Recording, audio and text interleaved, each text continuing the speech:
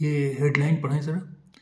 Many fall sick after eating buckwheat puris pakoras many fall sick after eating buckwheat puris pakoras यानी कुट्टू की पूड़ियाँ और पकौड़े खाने के बाद कई लोग बीमार। तो बकवीट हुआ कुट्टू और कुट्टू का आटा क्या हुआ?